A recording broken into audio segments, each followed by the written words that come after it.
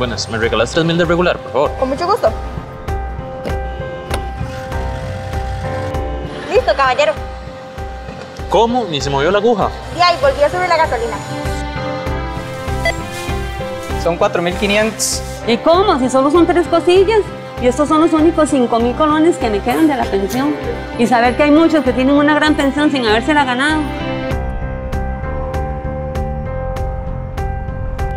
¿Usted me puede ayudar un momentito a quitarse la mascarilla? Es que ahí está el tráfico. Y si me quitan las placas me quedo sin trabajar.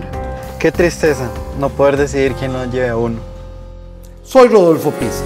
Me comprometo a convocar un referéndum para que usted decida eliminar el monopolio de Recopa, las pensiones de lujo y legalizar las plataformas para transporte de personas.